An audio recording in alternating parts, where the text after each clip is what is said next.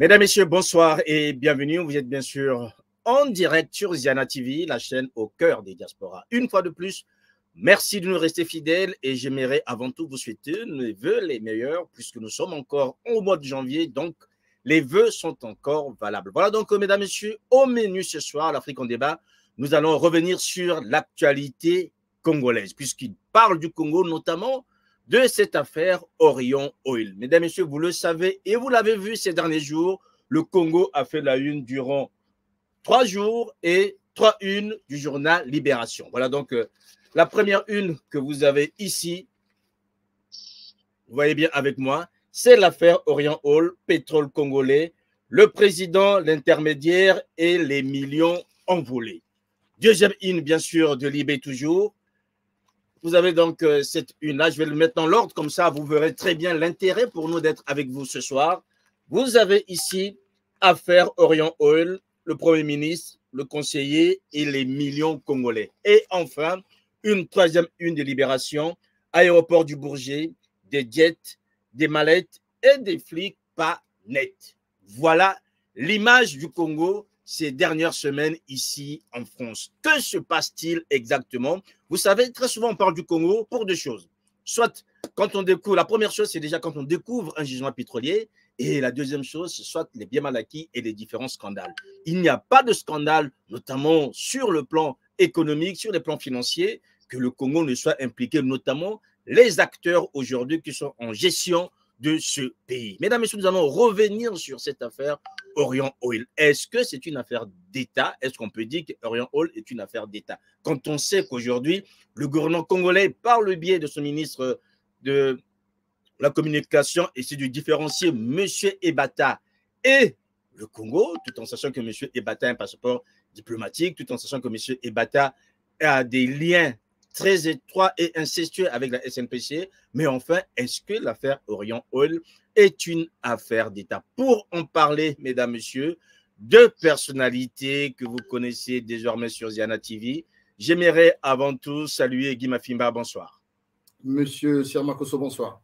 Merci euh, pour l'invitation et bonsoir à tous ceux qui nous suivent ce soir et très, très prochainement euh, à travers euh, Ziana TV.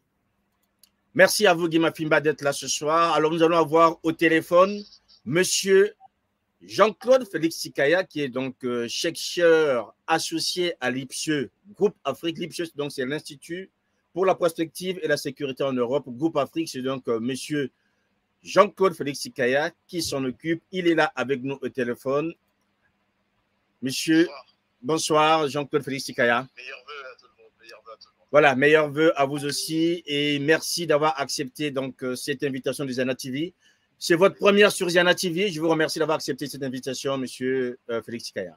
Je vous en prie, c'est moi qui est honoré par votre invitation. Merci. Voilà, alors, messieurs, nous allons repartir donc euh, à la genèse de cette affaire. On va prendre un extrait, puisque vous le savez, cette affaire a été bien couverte par les médias français notamment et les médias internationaux on va repartir sur un document, une revue de presse, une revue de presse qui a été faite euh, par la chaîne euh, France 24 qui nous permettra d'avoir une idée globalement avant que je puisse vous donner la parole. On va donc suivre cet élément et ensuite nous reviendrons ensemble, messieurs. Lucien Ebata euh, s'était fait arrêter en possession de, sommes stupéfiantes en liquide, 182 000 euros et 40 000 dollars en espèces non déclarées au cœur de ce système euh, de détournement euh, présumé une société, la société de Lucien et Bata, la société Orion, du nom de la constellation symbolisant la force dans la mythologie grecque, une entreprise moins poétiquement immatriculée aux Seychelles avec l'aide du cabinet euh, d'avocats Mossack Fonseca, un nom qui vous dit sans doute quelque chose puisqu'il s'agit de la société qui s'est retrouvée au cœur du scandale d'évasion fiscale des Panama Papers. S'agissant euh, d'Orion, donc, Libé affirme que cette société a ponctuaire des dizaines de milliers d'euros de cadeaux achetés dans des boutiques de luxe sur les Champs-Élysées, jusqu'à des mouvements de cash pouvant atteindre des millions d'euros à Paris et à Monaco. Libération évoque une affaire qui résonne avec celle des biens euh, mal acquis, dans laquelle, on s'en souvient, euh, des membres du clan de Denis Sassou Nguesso sont soupçonnés de s'être constitués des patrimoines illicites en France grâce à des détournements de fonds publics. le journal annonce, Pauline, la publication demain du deuxième volet de cette enquête sur, cette fois, les relations politiques. Voilà, donc ce deuxième volet qui portait sur les relations politiques, il faut dire incestueuses, avec certains dignitaires français, parmi lesquels vous avez vu cette une avec Manuel Valls. Alors, Jean-Claude Sikaya, euh, on sait de votre think tank euh, IPSE, je rappelle que IPSE, c'est l'Institut pour la prospective et la sécurité en Europe, vous vous occupez de la zone Afrique. Comment avez-vous apprécié, je dirais, ce feuilleton euh, Libération? Je, pourrais, dire, comme tout citoyen double, que ce soit le Congo ou la France, que cela vient choquer et entrechoquer les consciences de, de chacun. Euh, c'est un scandale d'État euh, mmh. pour la République euh, du Congo, mais pas seulement. C'est un scandale de plus, de plus pour le, pour le, régime qui est là au pouvoir depuis 38 ans cumulé, mais c'est un régime qui est un animateur planique et emblématique de la France-Afrique et de l'Afrique-France. Parce que cette Afrique-France, là, nous sommes dans les antres et dans les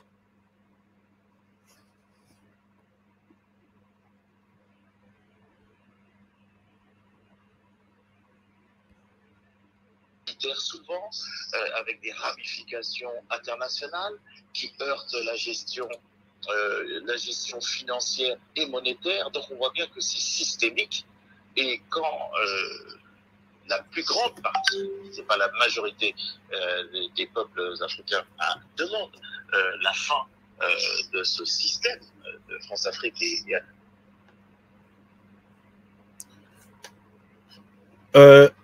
on a du mal à vous entendre. Voilà, on a un petit souci avec euh, Jean-Claude euh, Félix Sikaya. On va, on va le rappeler puisqu'il était en train d'étaler son argumentaire, ce qui nous permettra de pouvoir le suivre. Voilà, restez toujours en direct, euh, mesdames, messieurs. C'est toujours là les aléas du direct, bien sûr. Le temps que nous récupérons Jean-Claude Félix Sikaya. Alors, Guy Mafimba. Oui. Voilà. Est-ce que vous êtes là, Jean-Claude? Oui, oui, allez-y. Alors, si vous pouvez juste élever un peu la voix, puisqu'il y a des auditeurs qui nous disent qu'ils ont du mal à percevoir un peu ce que vous nous dites. Allez-y. D'accord. Oui, euh, je, vais, parler euh, beaucoup plus fort. Donc, oui, s'il vous plaît. Cette affaire euh, éclabousse non seulement le Les citoyens qui n'y sont, qui sont pour rien, qui sont victimes de, pas de ces échappées, mais de ce pillage, de, ce vol qui est pratiquement une, industrie géopolitique et géostratégique et géoéconomique, pas seulement euh, au seul nom euh, de la personne euh, qui est mis en cause, c'est bien tout un système avec des animateurs du Congo, de la classe politique, de la classe politique française qui n'est plus au pouvoir et qui est, qui est quand même euh, qui fait quand même partie des, personnalités, dont une qui a été donc Premier ministre en France, l'autre qui a failli être euh, donc euh, président en France, qui était président directeur du, du, FMI. Donc ça dit tout à fait la dimension, la dimension de cette affaire qui n'est pas seulement une affaire congolaise, c'est une affaire qui a qui met à jour une fois de plus, une fois de plus, les ramifications, tous les mécanismes nocifs est, nuisible euh, à l'encontre des, des, Congolais. Et c'est bien la stupéfaction pour ceux qui n'étaient pas au courant en France, pour le citoyen lambda et ailleurs. Le monde d'ailleurs ici s'y est pas trompé, je parle du monde euh, de la presse euh, et autres, il y a eu plusieurs unes là-dessus, mais ça n'a pas été vécu comme un un seul épisode. C'est un épisode qui court depuis des décennies, depuis les milieux des années 50, avec des points d'orgue encore aujourd'hui. Donc la France-Afrique n'est pas terminée.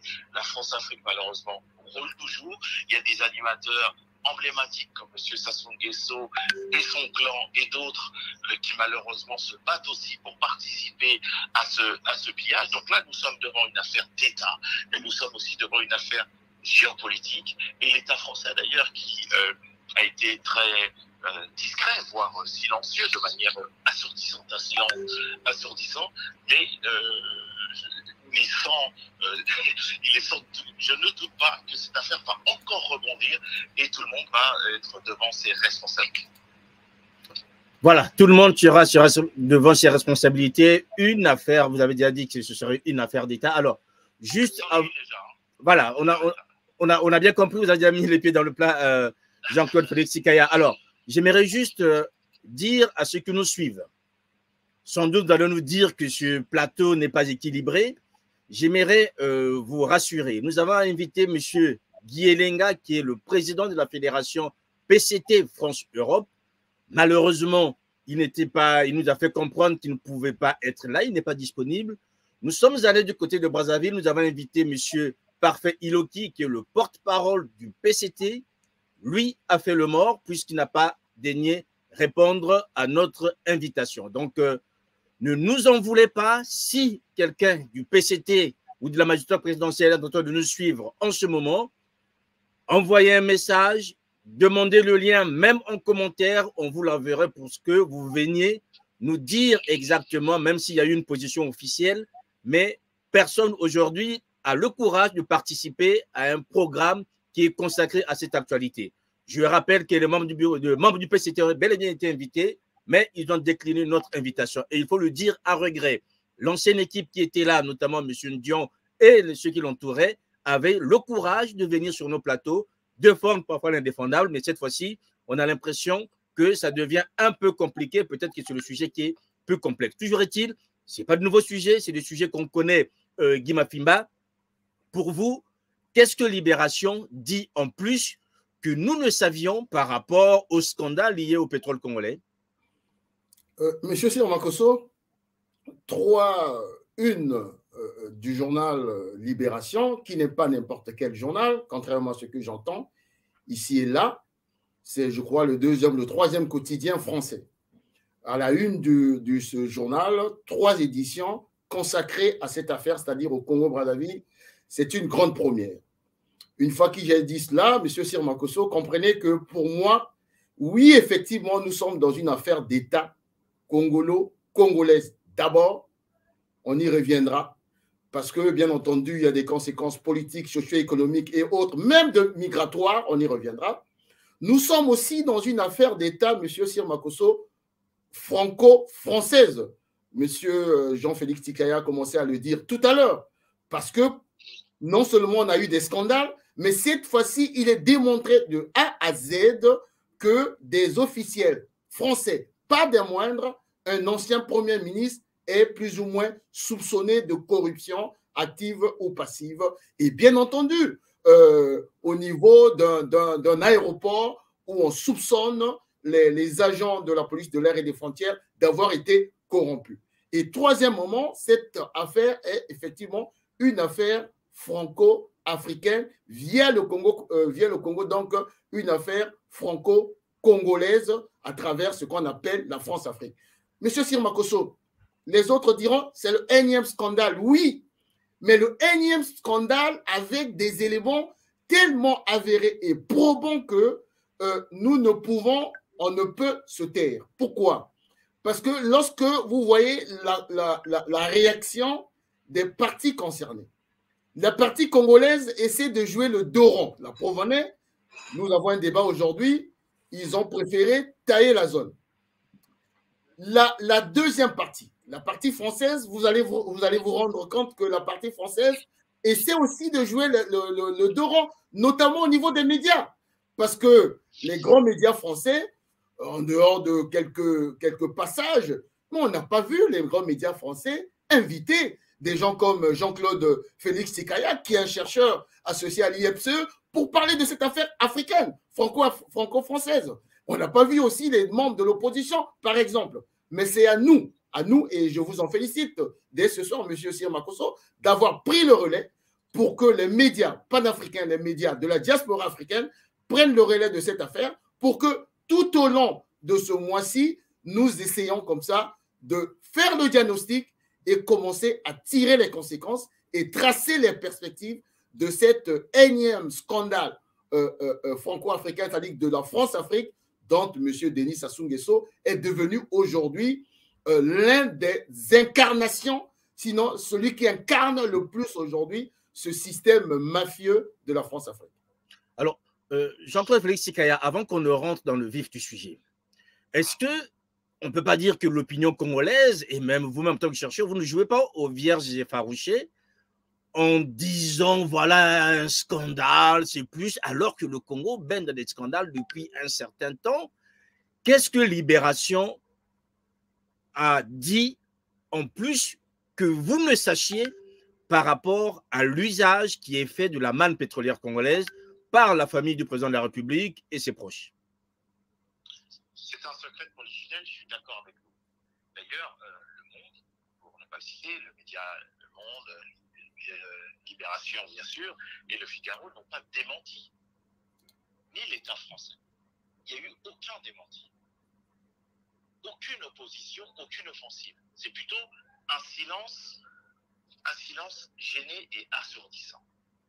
Les scandales se succèdent, s'additionnent, mais à chaque fois, c'est un scandale. À chaque fois, c'est un choc. Pourquoi? Personne ne l'ignore. Personne ne l'ignore. Ça a commencé avant ma naissance, la France-Afrique. Et depuis, mon existence, comme la vôtre, celle des Congolais, celle des Français qui ne sont pas d'accord avec ce que, ce que font leurs euh, gouvernants successifs. Mais attention, n'oublions pas une autre partie de ces, de ces, rouages de cette France-Afrique.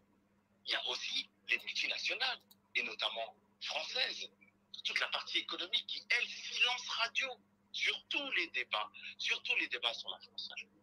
Et y compris la partie monétaire, le français phare, et tout ce qui est dans cette machine, et toute la philosophie raciste aussi, qui participe à cette vision qu'on peut faire tout et n'importe quoi avec l'Afrique et surtout avec les Africains.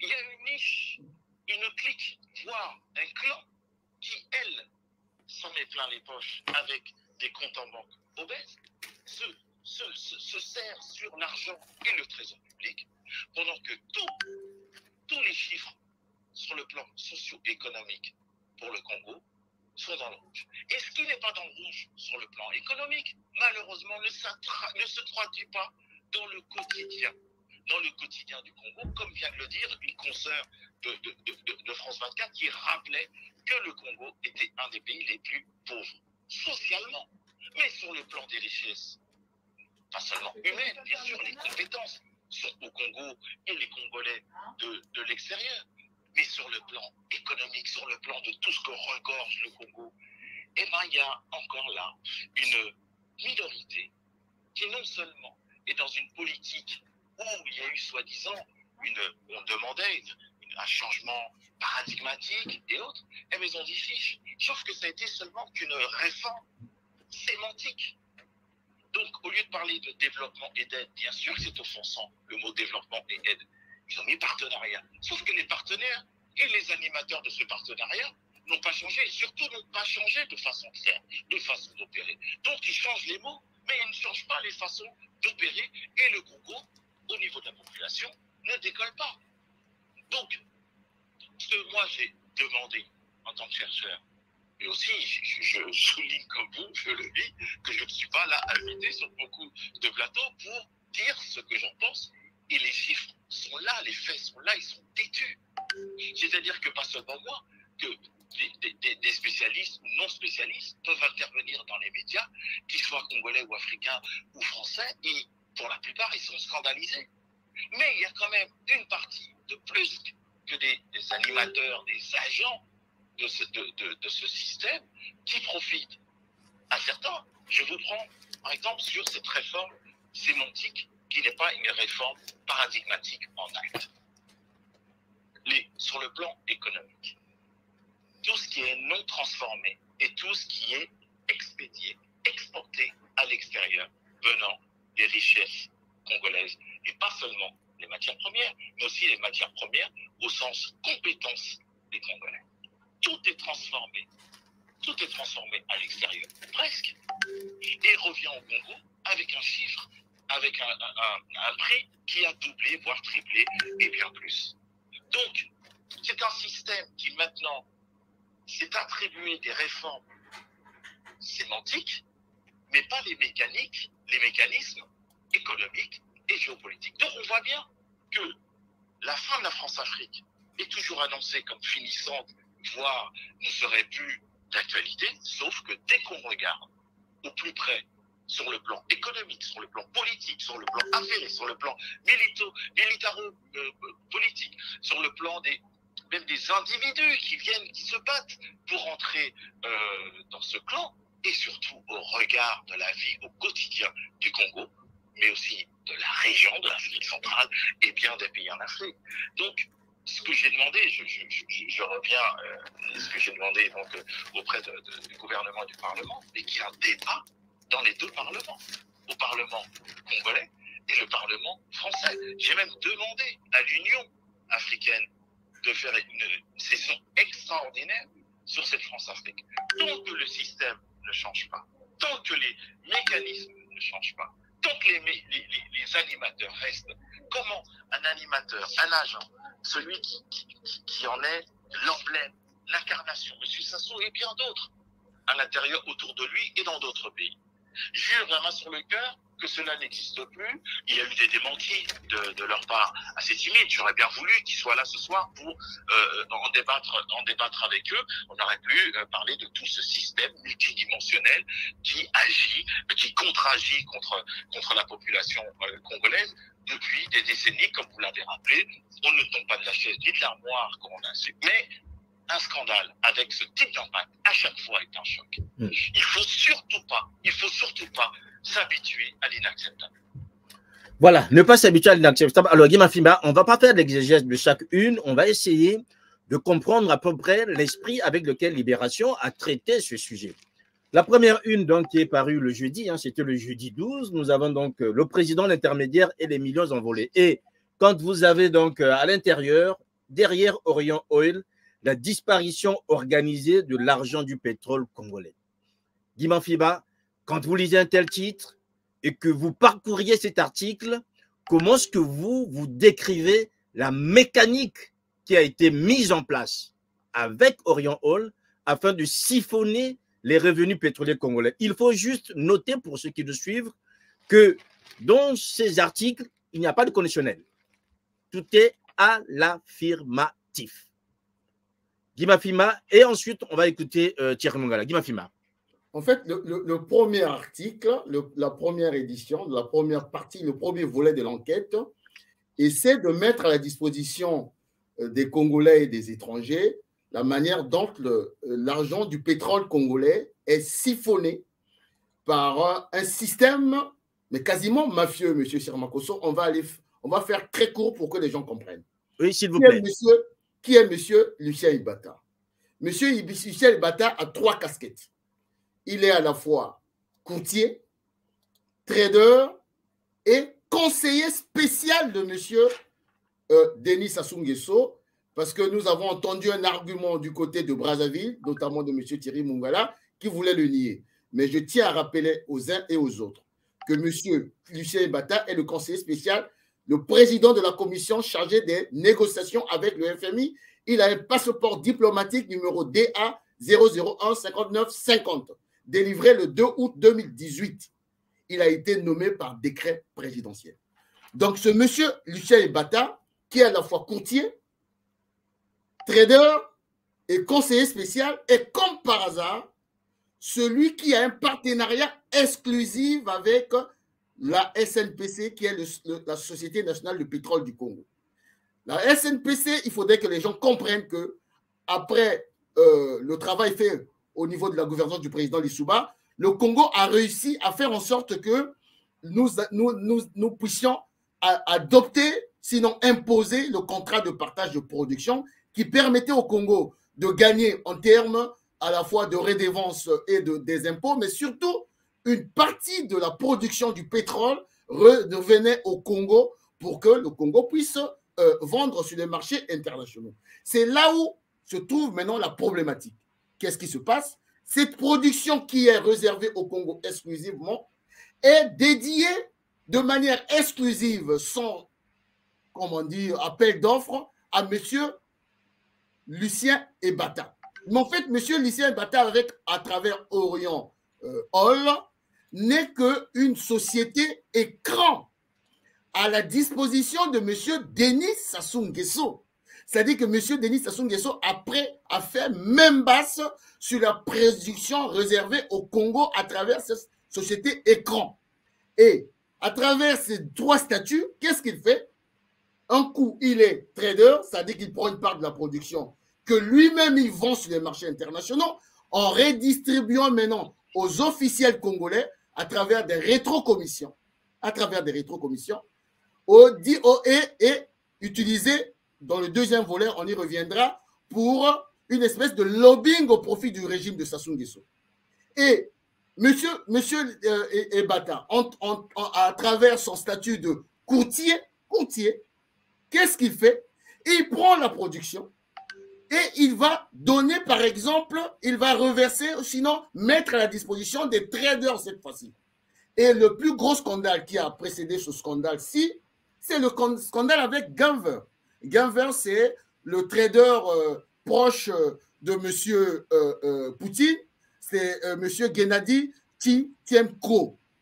Et ce scandale, si vous vous souvenez, en Suisse, a consisté à faire des prêts gagés sur le pétrole plus de 500 millions de dollars au gouvernement congolais et qui se sont redistribués. Et le troisième statut, dont euh, il est le conseiller spécial de M. Denis Sassou Nguesso, c'est là où on reviendra sur la deuxième édition, où il fait du lobbying politique en, étant, en, en, en, étant devenu un agent de corruption pour la conservation, sinon la conquête du pouvoir de M. Denis Sassou Nguesso. Donc, à travers sa première édition, on vient nous expliquer, et ça c'est une affaire franco, non, congolo-congolaise, que le pétrole congolais est détourné de manière massive par une oligarchie à la tête du pays dont M. Sassou Nguesso est le premier responsable.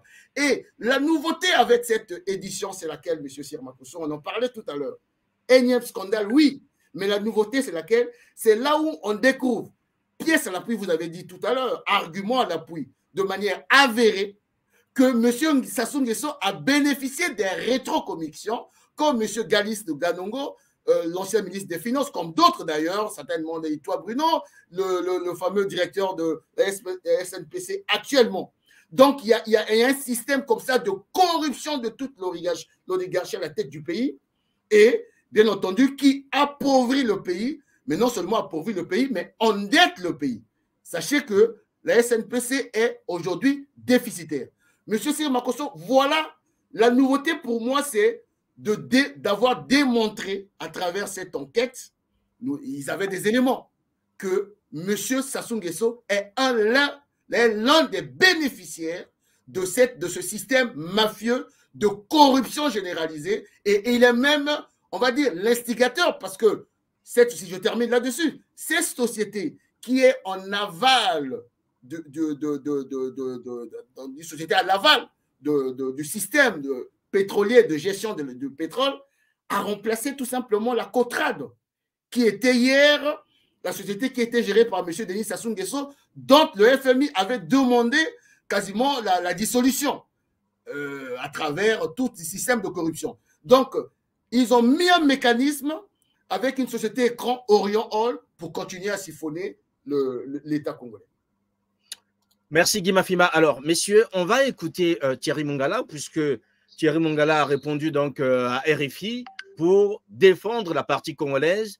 On va l'écouter et ensuite nous allons euh, analyser ensemble gouvernement de la République, nous réagissons sur une accusation totalement démentie d'ailleurs par l'intéressé, c'est-à-dire l'ex-collaborateur de M. Ebata, un certain Ted, j'ai cru comprendre, euh, qui s'est vu saisir à son domicile un carnet avec euh, des euh, mentions de versement ou en tout cas des montants avec en face des initiales. Moi, j'interviens pour démentir avec la plus grande fermeté le fait que ces imputations concernent personnellement le président de la République du Congo. Et mhm. d'ailleurs, ce monsieur ainsi que monsieur Ebata ont totalement démenti ces allégations-là. Mhm. Du point de vue donc de notre gouvernement, il s'agit pour l'essentiel d'un acte de diffamation, une publication diffamatoire, et nous nous réservons, et le président de la République, l'État congolais, vont porter plainte contre Libération pour euh, diffamation.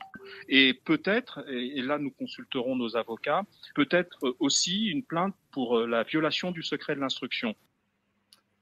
Alors, Jean-Claude Félix Sikaya, les arguments de la partie congolaise, vous les entendez. Diffamation pure et simple. Monsieur euh, Ebata euh, fait son business. Il n'a rien à voir avec le Congo, encore moins avec le président de la République, Denis Sassou Nguesso. Comment parleriez-vous d'une affaire d'État quand l'État congolais, lui, nie toute relation, même si Guy Mafima a prouvé que M. Ibata est le conseiller spécial du président de la République du Congo, mais enfin, l'État congolais, sur le côté, soutient que M. Ibata est un businessman, donc sans aucun lien, et M. Sassou se retrouve là-dedans un peu par hasard à entendre Thierry Mongala, euh, M. Félix Sikaya. Alors, cette rhétorique euh, la défensive de la part de, de, M. Mongala, euh, malheureusement, elle, succède aux autres depuis des décennies. Euh, tous ceux qui, euh, malheureusement, participent à la France-Afrique, il suffit de reprendre l'histoire rhétorique. le retour, à chaque fois, c'est le déni, c'est le démenti, c'est soi-disant toutes les, toutes les procédures qui, viendraient démentir et prouver le, contraire, alors que tout une, un amoncellement de références les plus correcte sur le plan juridique, scientifique, politique sur la France-Afrique. Toutes les mécaniques euh, sont connues pour ceux qui veulent euh, jeter un œil. Je suis certain que tous ceux qui sont et toutes celles qui sont en train de nous écouter en ce moment sont nés avec cette problématique. On sont allés à l'école primaire et lycée et entendaient de cette problématique, entendaient à chaque fois les mêmes démentis. Je, réaffirme que c'est une affaire, euh, que c'est une affaire, c'est une affaire d'État, mais pas seulement l'État congolais c'est aussi une affaire euh, sur le plan géopolitique. Donc l'ONU peut être aussi euh, sollicitée. L'Union africaine doit être sollicitée. L'institution régionale, parce que c'est tout un système. Donc il est important pour la dignité euh, des, Congolais de bien dire ce que M. Mafumba a, dit et ce qu'on a pu dire tous ensemble. Le Congo n'est pas pauvre. Le Congo est appauvri. Il faut avoir une vision politiste économique de, de, de, ce quotidien.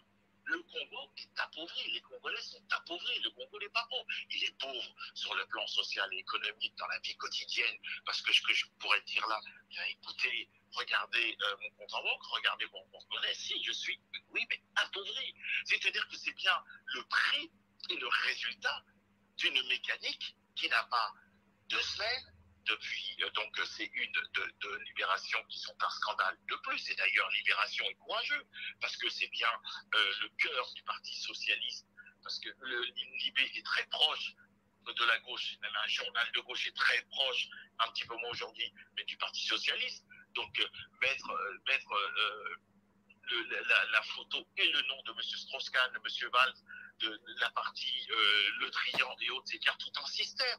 Donc c'est bien tout un système de la classe politique française, de gauche à droite, de droite à gauche, alors même euh, jusqu'à à, à certains extrêmes.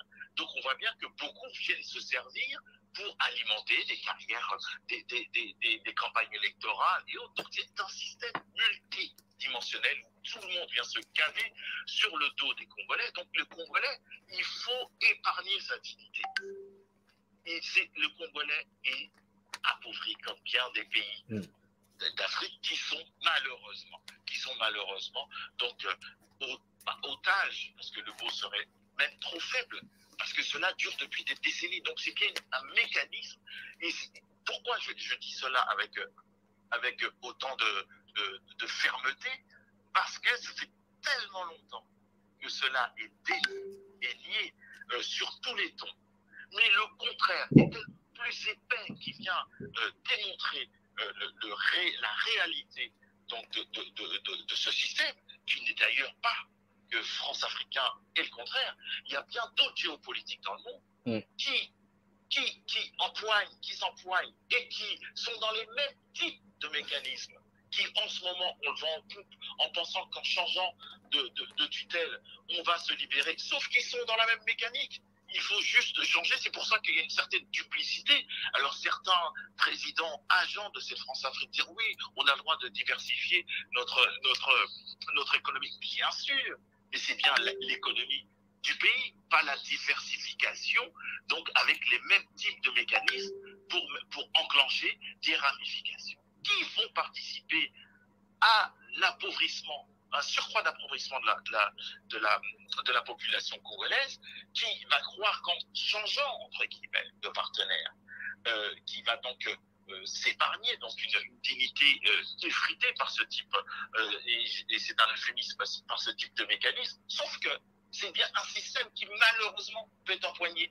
par beaucoup de géopolitiques qui ne, ne, ne vont pas renier à faire, à faire la même chose. Donc c'est bien une politique où il faut changer tous les partenariats, nos tutelles, aucune tutelle, ni la tutelle intérieure, qui est première responsable au nom de la loi.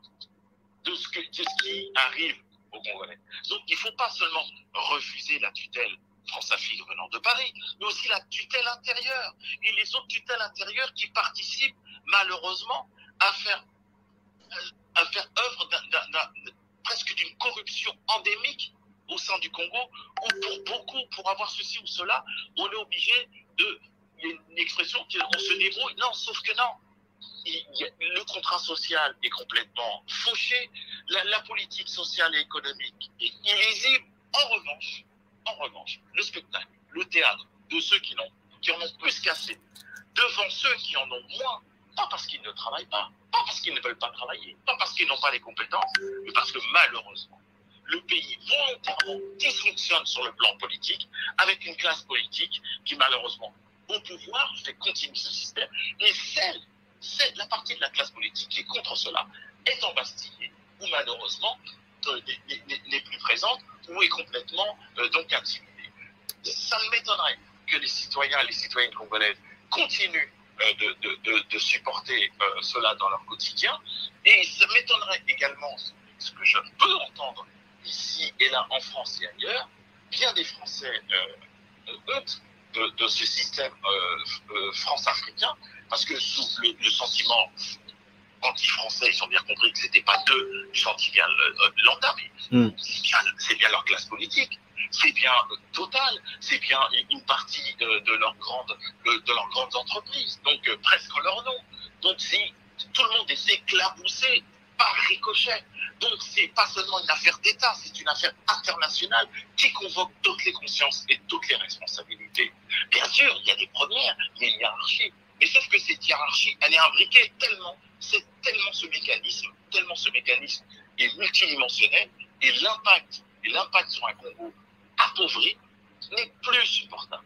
Donc il y aura peut-être un choc, il y aura peut-être un choc, et un autre article début de semaine prochaine, et ben on va encore se dire choqué parce que c'est choquant, parce que notre conscience ne peut s'habituer à ça. Voilà, merci Jean-Claude Félix Tikaya. Alors nous recevons donc euh, Eric Ngolo. Bonsoir. Bonsoir. Alors, Eric Ngolo, euh, on vous présenterait proche de la majorité présidentielle. Est-ce que cela vous suffit?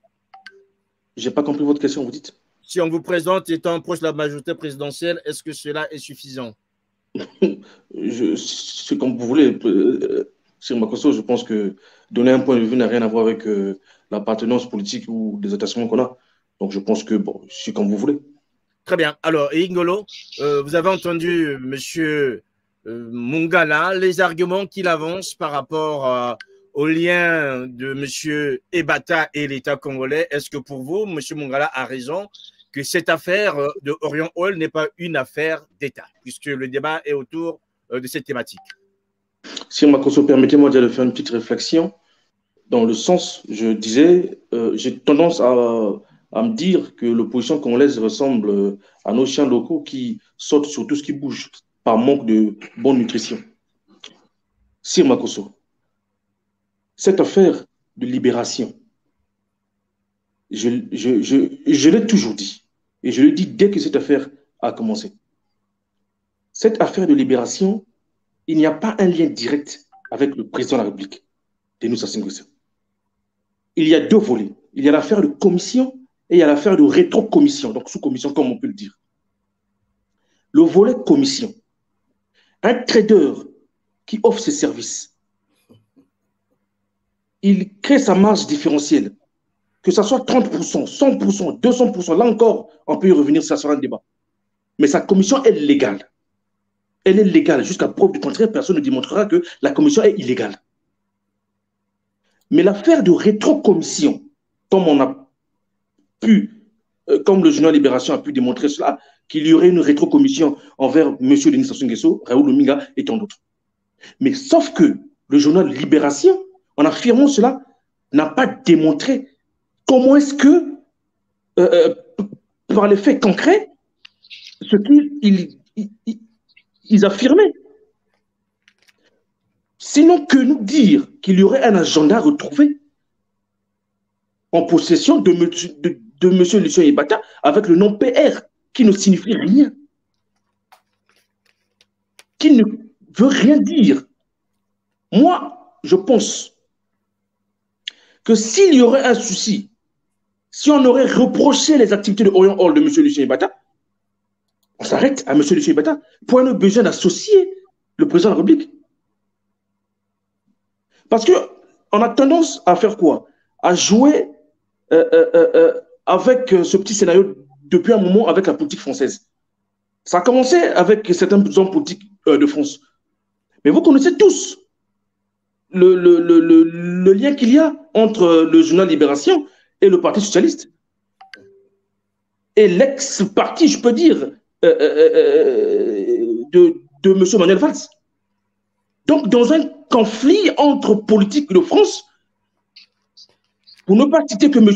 Euh, Lucien Ibata, on met le nom de M. Denis Sassou pour essayer de, de, de, de, de faire valoir euh, dans une, dans une forme euh, de rapprochement qui n'a pas de sens. Alors, si on peut dire que c'est question d'éthique, M. Lucien Ibata occupe la fonction de, enfin, être trader euh, du pétrole congolais et il est conseiller du chef de l'État, on peut dire que oui, il y a un souci là-dessus. On peut dire oui, il faut revoir ça, euh, question d'éthique. Mais s'il faut dire que cet argent euh, qui a été trouvé en possession de M. Lucien Ibata, que M. Lucien Ibata verserait des sous-commissions, enfin des fonds au président de l'État alors qu'il n'y aurait rien technique de manière factuelle, sinon que des hypothèses et des spéculations. Donc jusqu'à présent, le journal Libération ne nous a pas démontré techniquement le lien entre M. Lucien Ibata, euh, je veux dire, dans le versement de ces sous-commissions. Très bien, on a bien compris euh, Eric Ngolo. Alors, Dima Euh, quand on entend Eric Ngolo, il est quasiment dans la même veine que M. Thierry Mungala, il se défend de ne pas être la majorité, c'est de son droit. Mais toujours est-il, toujours est-il, Aujourd'hui, cette affaire est en train d'éclabousser, je dirais, la classe politique congolaise, notamment celle qui est au pouvoir. Et trois personnalités, on va dire. Hein. Aujourd'hui, on a quelques noms. Il y a M. Ominga. M. Ominga, on sait où est-ce qu'il est. Il y a euh, l'ancien ministre des Affaires, euh, l'ancien ministre des Finances, et il y a le président de la République lui-même. Alors, qu'est-ce qu'on dirait aujourd'hui par rapport à cette affaire? Vous avez entendu les arguments avancés par M. Mongala. Vous avez entendu Eric Ngolo. Vous diriez quoi ce soir, Guy Mafimba, par rapport à cette approche que certains estiment c'est une affaire privée, personnelle d'une entreprise qui fait son business et qui finalement s'arrange pour avoir des marchés, et d'autres qui pensent qu'aujourd'hui, l'État congolais est bel et bien mouillé, notamment le président de la République du Congo, Denis Sassou Nguesso. Non, euh, euh, je, suis d'autant plus euh, choqué, M. Sir Makoso, parce que je ne sais pas si M. Eric Ngolo est conscient des sommes dont on parle dans cette affaire. Première chose. Deuxième chose, je tiens à rappeler à M. Eric Ngolo que M. Lucien Bata est conseiller spécial chargé des financements extérieurs et chargé des négociations au FMI par arrêté présidentiel. Ça veut dire que jusqu'aujourd'hui, il a ce poste. Et s'il a ce poste comme statut, le fait en soi qu'il soit en même temps trader et courtier de l'État congolais, c'est un conflit d'intérêts. C'est-à-dire que le responsable numéro un, ce n'est même pas de, de, ce dysfonctionnement, de cette, c'est quasiment un, délit en, termes politiques, c'est M. Denis Sassou. Deuxième chose que je voulais dire à M. Eric Ngolo. Lorsque M. Lucien Bata, à travers Orion Hall, dont l'un des directeurs est M. Sylvain Lekaka, aujourd'hui directeur de cabinet du ministre du Budget actuel. Ce monsieur a la possibilité, on met à sa disposition 8 tankers par an de pétrole du Congo-Brazzaville, de, de la SNPC. C'est-à-dire, on lui donne cette exclusivité. Il y a deuxième conflit d'intérêts. Et ce que j'ai dit tantôt, une société écran mise à la disposition de M. Lichien Ibata sur instruction de M. Denis Sassou. Deuxième responsabilité de M. Denis Sassou Nguesso. Troisième responsabilité, M. Sirma Je veux parler des faits. En 2013, M. Lucien Ibata, à travers Orion Hall et à travers un consortium de, banques, Exibank, UBA, Banque Atlantique, BGFI Bank, Afrixi Bank, ont fait un prêt de 500 millions de dollars. Et en 2015, 580 millions de dollars. Ça veut dire que plus de 1000 milli, euh, comment dit, 1000, 1 milliard de dollars. Sur quoi En gageant quoi Le pétrole du Congo-Brazzaville. Alors, dites-moi, monsieur, euh, monsieur Sir Makoso et monsieur Eric Ngolo, un homme avec une telle responsabilité, avec, avec euh, des sommes aussi importantes, pouvez-vous imaginer un seul instant que ce monsieur soit un électron libre? Non, monsieur Éric Ngolo. Soyons responsables. Libé n'est pas là en train de faire les enquêtes. Libé ne fait que mettre à la disposition du public les éléments d'une enquête menée par le pôle financier de Nanterre. Donc, monsieur, euh, parce que monsieur, monsieur Lucien Ebata a été mis en cause et mis en examen pour manquement à l'obligation de déclaration des capitaux, blanchiment et corruption active. Ça veut dire quoi? Ce monsieur Lucien Ebata est le missi dominici de monsieur Denis Sassou qui est le chef de l'État du Congo-Brazzaville et qui a mis en place cette société écran pour siphonner l'argent des Congolais. Monsieur Eric Ngolo, c'est là où je termine. Dans ce volet congolo-congolais, qu'est-ce qui doit se passer dans un pays sérieux? Je viens de balayer là vos arguments qui consistent à dire il faut dissocier M. Lucien Ebata à M. Denis Sassou Nguesso. Le premier responsable, c'est M. Denis Sassou Nguesso. Donc, dans un pays sérieux, M. Siamakoso, je termine là-dessus. Première chose, les deux chambres du Parlement congolais, le Parlement congolais, c'est-à-dire l'Assemblée nationale et le, et le Sénat, devraient mettre en place une mission d'enquête. Une mission d'enquête pour auditer sur la SNPC.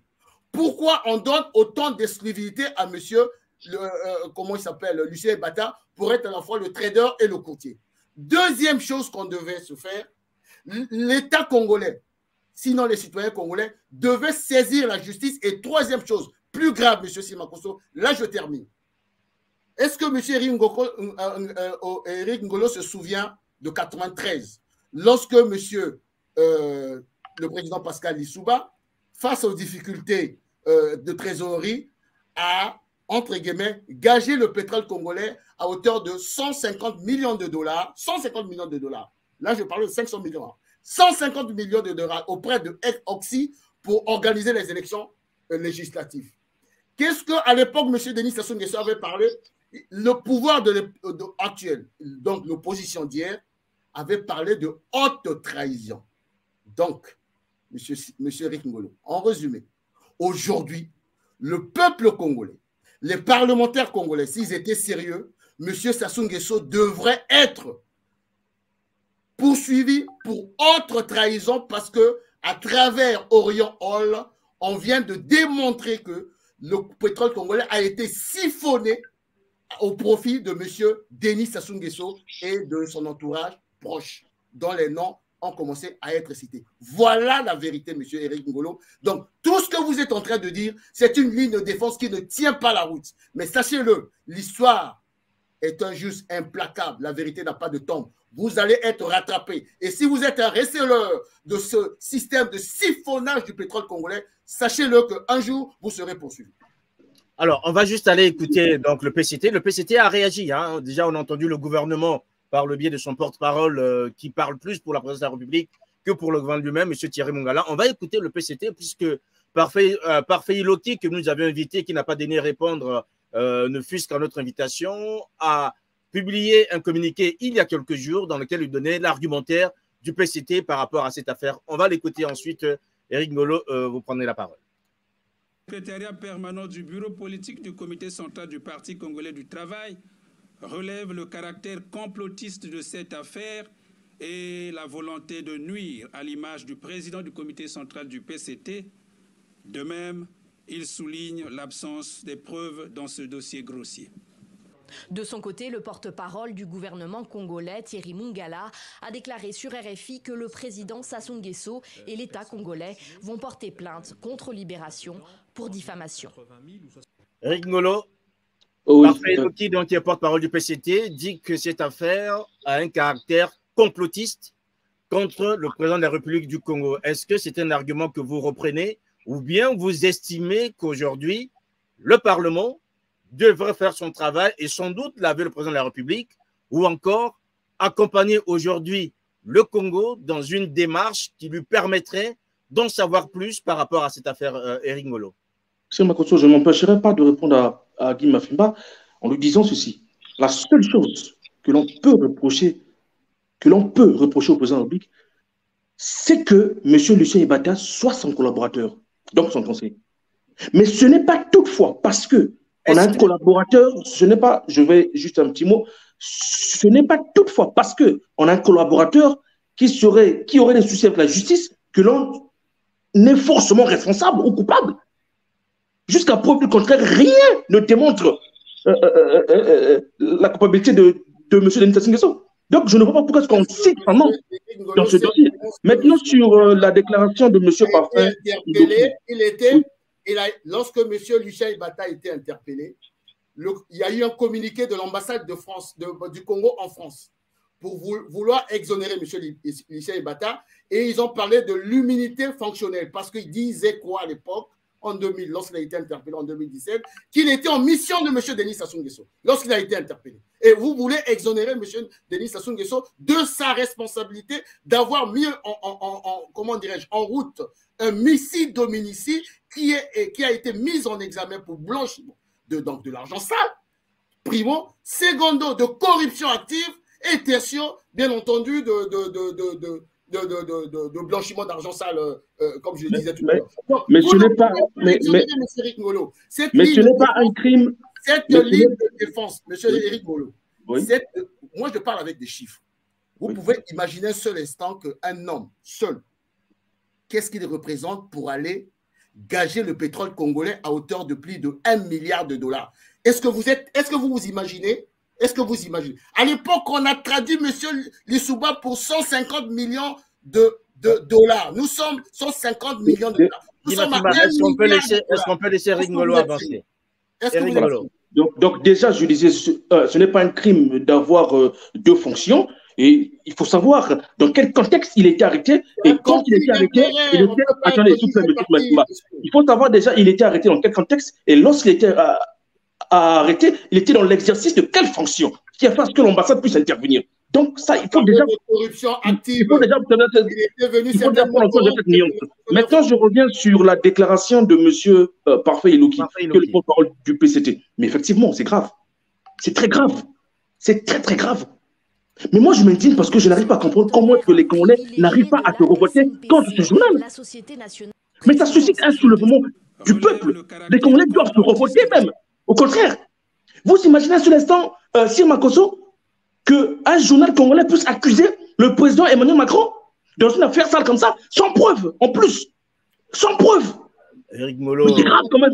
Non mais attendez, attendez, attendez. Eric Mais moi j'imagine, parce que, parce que, parce qu'il y a des choses, il y a des choses. Eric Ngolo, Eric revenons, Parce qu'il y a des choses, Non, non, parce Eric qu'il il y a des choses, c'est Non, Makoso. Eric Ngolo, s'il vous plaît. Oui. Eric Ngolo, mettons les choses en place. Faut pas trop qu'on puisse se disperser dans des considérations un peu absurdes. Monsieur Macron est insulté ici tous les jours. Alors, vous imaginez qu'est-ce que- qu'est-ce qu'il pourrait faire à un journal congolais? Ça changerait quoi pour lui? Monsieur Macron, c'est un démocrate. La presse est libre. Si vous vous sentez offensé par la presse, portez plainte. Donc, n'envoyez pas Monsieur Macron à attendre un journal congolais qui puisse dire au Mali tous les jours, hein, tous les jours, vous voyez ce qu'on dit, comment est-ce qu'il est caricaturé au Mali? Avez-vous déjà entendu que M. Macron est allé porter plainte à un journal malien parce qu'on a dit ceci? Non. Restons sur les choses plus ou moins communes et avançons. Vous êtes sur un argumentaire qui est le vôtre. Il est bien que vous avanciez, mais pas dire que M. Macron, un journal congolais, M. Macron, c'est un démocrate, donc lui, il n'a pas de problème par rapport à ça. S'il a un problème, il portera plainte. Monsieur Sirmakoso, vous remarquerez, le président de la République également, euh, Denis Sassou Nguesso, étant démocrate, ne réagit pas trop, euh, il ne réagit quasiment presque pas à cette accusation, parce que, euh, parce que pour lui, c'est infondé. Hmm. Mais moi, je ne parle pas du président de la République, je parle de nous, Congolais, nous, peuple, parce qu'il y a des choses qui doivent nous faire sortir de nos pratiques politiques, de l'opposition ou bien pouvoir. On doit avoir un sens républicain, on doit s'unir lorsque c'est l'intérêt de la République. Parce que le président euh, euh, Denis Sassou occupe une fonction de la République. Est-ce que, est-ce que, est. que euh, Eric on, on, Eric Ngolo, Eric Ngolo, oui. Eric Ngolo, est-ce que le premier intérêt de la République, c'est déjà de garantir que les revenus congolais soient distribués, les revenus pétroliers soient distribués à tous les Congolais? Est-ce que ça, ce n'est pas le premier intérêt? Mais jusqu'à preuve du contraire, sous le, le journal Libération n'a pas démontré et n'a pas démontré l'implication, le lien entre ces fonds ou entre M. Lucien Ibata sur ces fonds et le président de l'administration Il n'y a que des spéculations qui règnent autour. Monsieur Sirmakoso, est-ce qu'il a la maîtrise du dossier? Il n'y a que des spéculations qui règnent autour. Monsieur Sirmakoso, juste une, une, une, interpellation pour Monsieur Eric Ngolo. Allez. Monsieur Eric Ngolo, est-ce que vous connaissez la configuration de la dette congolaise? Vous connaissez la configuration de la dette congolaise? Je vous écoute, allez-y. Bon. La dette congolaise, 60% au moins avec la Chine. 30% avec les traders, c'est-à-dire que les amis du voyou et criminel et euh, financier de monsieur, de Lucien Ibata. 30% des traders. Et les traders, c'est quoi? Ce sont des prêts gadgets. C'est-à-dire que notre pétrole à nous, que la SNPC a donné à monsieur Lucien Ibata, et il est parti donner aux traders et qui ont donné des prêts qui ont, donné. Et les Congolais ne se retrouvent nulle part. On se retrouve avec une dette. Dites-moi, dites-moi. Dites-moi, monsieur Guimafima, dites-moi, monsieur Guimafima, le, le, pays où vous vivez, la France, ils ne sont pas endettés? Ils, ils ne s'endettent pas? Voilà la ligne de défense la plus idiote que j'ai jamais. Non, mais dites-moi, dites-moi, dites-moi. Parce que là, on est sur un. Non, parce que vous, vous sortez du contexte, vous sortez du sujet pour me ramener dans une. Alors, euh, on va revenir. Voilà, on va, revenir dans le sujet. Voilà la ligne de défense la plus idiote. Eric on va revenir dans le sujet. On va revenir dans le sujet. Oui, donc je, disais, donc je disais, c'est ma Allez-y, allez-y. C'est grave ce qui vient de se passer. Parce que je pense qu'il doit y avoir, et moi, je, je, je, je, je, je conseille certains Congolais qui se sentent patriotes, qui se sentent républicains, qui pensent que le président de la République a été attaqué. Parce que ça, c'est une attaque. Ils doivent, euh, euh, euh, de la même manière, ils doivent eux aussi poursuivre ces journaux. Et moi, je pense, et moi, je pense, moi, je pense qu'il serait logique d'initier ce que je viens de dire. il y a des Congolais qui doivent poursuivre ce journaux. Parce que, que vous ont Eric Ngolo, soyons factuels, soyons factuels. Oui, vous êtes un bon citoyen congolais républicain. Est-ce que vous êtes prêt à poursuivre Libération ce soir? On nous dit que vous pouvez poursuivre Libération ce soir par rapport à ce qui a été fait, à votre l'offense qui a été faite à votre président de la République. Sir Makoso, je suis congolais. Oui. Je suis également président de l'association Aimons nous vivons en France. Et je vous dis que je m'indigne, il y a une réflexion qui, qui tourne en ce moment autour, je vais finir, il y a une réflexion qui tourne autour de l'association que je préside. Nous allons attaquer le journal Libération en France. D'accord. Parce que jusqu'à preuve du contraire, ils doivent nous démontrer le lien, le lien. Ils doivent nous démontrer techniquement que M. Denis Sassou Nguesso euh, euh, euh, aurait récupéré ses fonds auprès de M. Lucien Ibata.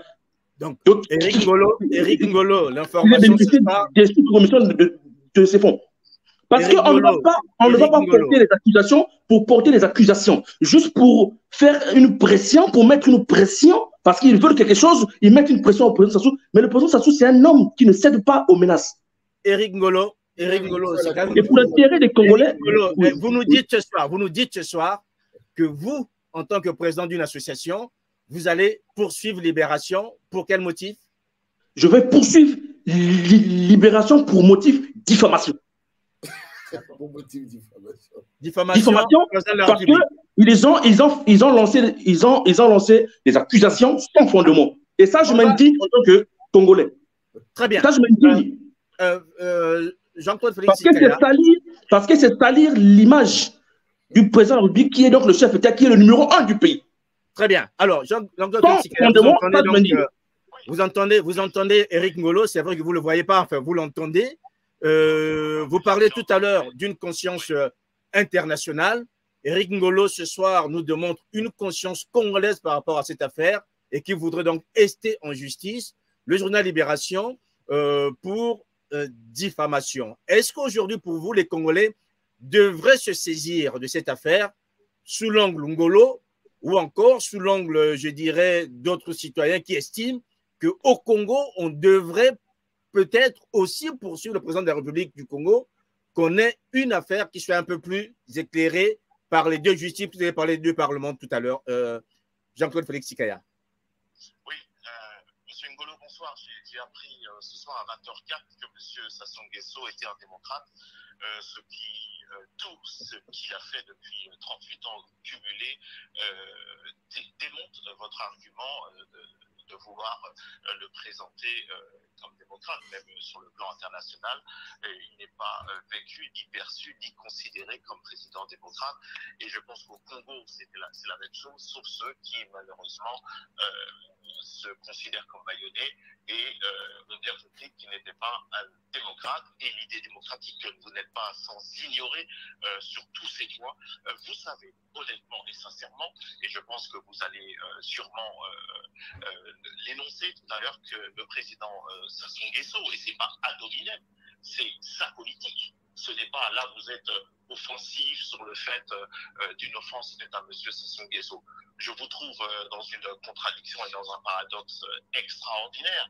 Alors, gardez toute votre énergie pour euh, lui dire euh, d'avoir une politique qui euh, soit vraiment une politique qui mette en place euh, une politique régalienne, une politique juste euh, sur le plan social, sur le plan économique, une politique juste sur le plan géopolitique, une politique juste sur le plan de la santé, une politique juste sur le plan d'éducation, une politique juste sur le plan des universités, une politique juste sur le plan de la recherche, une politique juste sur le plan écologique, une politique juste sur le plan de la de, de l'Afrique centrale, une politique juste pour le continent pour le continent africain, une politique juste pour que la, dignité politique congolaise qui est entamée, qui est élimée, qui est plus que escamotée euh, par la politique de Monsieur Sassou Nguesso. Et malheureusement certains qui, l'entourent, même parfois à l'intérieur, on peut trouver des, des, ministres ou des, députés du PCT qui essaient de bien faire leur boulot, mais qui sont rattrapés malheureusement par toute cette machinerie que vous connaissez mieux que. Donc l'énergie de votre association, elle peut aussi se tourner, se tourner vers ce qui, euh, sûrement, quand je vous entends, je pense que vous avez été précédé, euh, précédé par euh, ces décennies de politique dont vous êtes en plein dedans. Il suffit de regarder tous les dossiers, et notamment ce dossier de, libération que vous avez lu, et tous les mécanismes sont, sont, explicités. Et là, vous, vous, faites comme beaucoup qui veulent défendre, qui veulent défendre la, Fran- la France-Afrique et ou peut-être euh, les, agents, quel que soit le- leur niveau d'intervention dans, ce mécanisme. Et là, on va parler des, mécanismes avérés, c'est-à-dire souvent, non, non, mais c'est du business, ils ont le droit de faire ceci comme cela. Sauf que il y a des accointances, il y a des chiffres, et il y a des, lieux où l'on pose et on prend des décisions dans des mécanismes financiers et monétaires, et c'est très bien démontré euh, dans, le, dans le dossier de de libération qui démontre les mécanismes que vous ne méconnaissez pas. Parce que ce n'est qu'un c'est pas un épiphénomène c'est un épisode de plus. Donc souvent c'est comme je vous disais tout à l'heure il y a une réforme il y a une réforme rhétorique donc on parle plus de partenariat on a enlevé le mot aide et autres et puis maintenant on met le mot business. Sauf que eh ben il y a des journalistes très sérieux qui travaillent. Ça n'a pas été démenti par les journalistes très sérieux du Figaro ça n'a pas été démenti par les journalistes très sérieux de Guardian, de Washington Post, des journalistes très sérieux du Congo et de toute, de toute l'Afrique il n'y a pas eu de démenti, il n'y a pas eu tout ce, toute votre offensive, je peux vous comprendre. Vous êtes euh, politiquement pour M. Sassou Nguesso. Sauf que les faits, malgré votre soutien au président Sassou Nguesso, malheureusement, les faits, et pas seulement ceci, pas seulement cela, dé démontrent, démontrent votre argumentaire qui, euh, malheureusement, vous n'essayez pas quand même d'embrigader les Congolais qui ont quand même des soucis sociaux, politiques, économiques, qui veulent une politique juste. Alors, vous venez leur apprendre, sauf qu'ils le vivent depuis des décennies, que monsieur, vous voulez leur apprendre et leur faire avaler que monsieur Sassou Nguesso est un, est un, est un démocrate. Un peu de respect pour l'idée démocratique, un peu de respect pour nos concitoyens, un peu de respect aussi pour nos consciences, pour nos consciences, pour notre discussion, pour ceux qui sont en face de leur écran. Il y a quand même des faits.